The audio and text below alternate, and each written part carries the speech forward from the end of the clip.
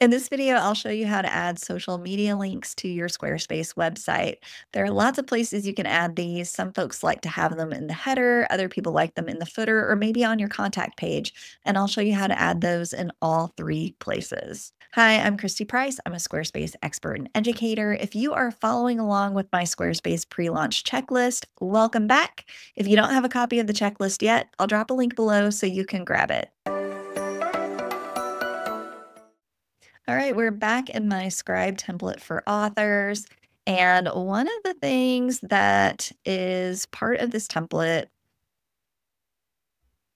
on the demo, you can see that there are social links turned on in the header. Now, they are on here. Why aren't they showing up? It's because we haven't actually added any social links yet to this template. So, how do you find where you should add in your social links?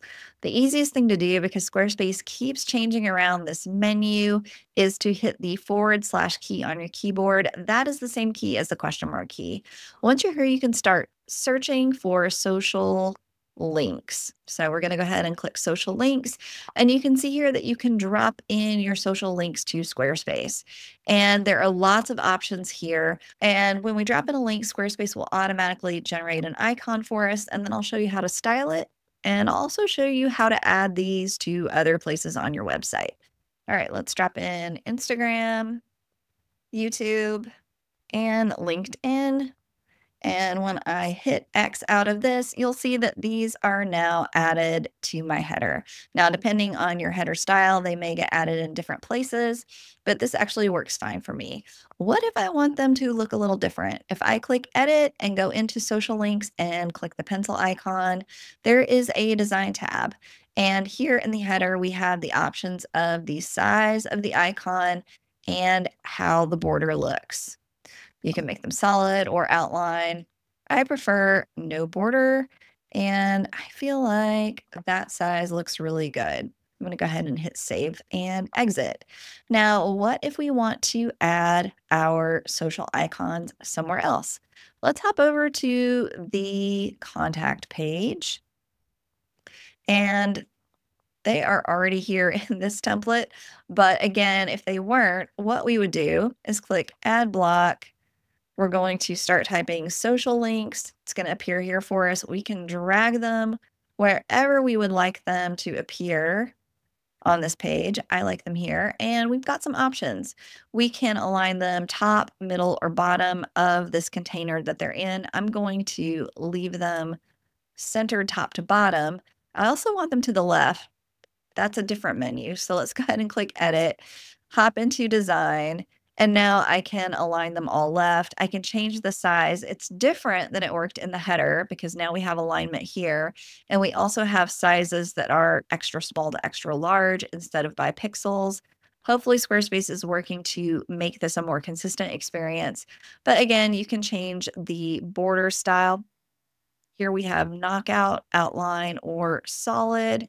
I like no border. I think this looks more modern, and I'm going to go large here. All right, let's go ahead and click save, and let's check it on mobile view. It looks like they are in the right place, so yay for that. We don't have to do any finagling there.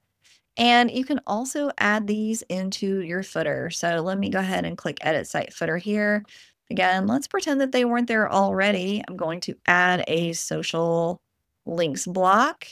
And we do have to style it in every place, but the nice thing is that we don't have to add our links again. They only have to get added in one place. In this one, I'm going to keep it aligned top to bottom as well, and then click the pencil icon, go to design, align it left, and let's make them large here looks good to me. I'm getting the blue dot in mobile view. Let's hop over and I want to give them just a little more space here. So I'm going to drag them down a hair. This looks pretty tight to me here. So I'm going to actually drag that down. It's going to open up a little more space there. Not a ton, just enough so it feels like it can breathe and hit save. Let's double check it on desktop. Still looks good there. And we can exit out. So, things to keep in mind you can only get these same social icons in the same order across your website. So I couldn't have just Instagram in one place and Instagram and YouTube somewhere else. I also can't have them in different orders. So what if we want to order them? You go in and click edit, move them up and down, and you can see it moved the order here and in the header and in the footer. So keep that in mind as well. So there are some limitations, but overall, it's a really easy add. And I think it's a great way to help people find you across platforms. If you did find this helpful, please give the video a like or leave a comment below as that helps other people discover my videos. Thanks so much for watching, and I wish you all the best with your website.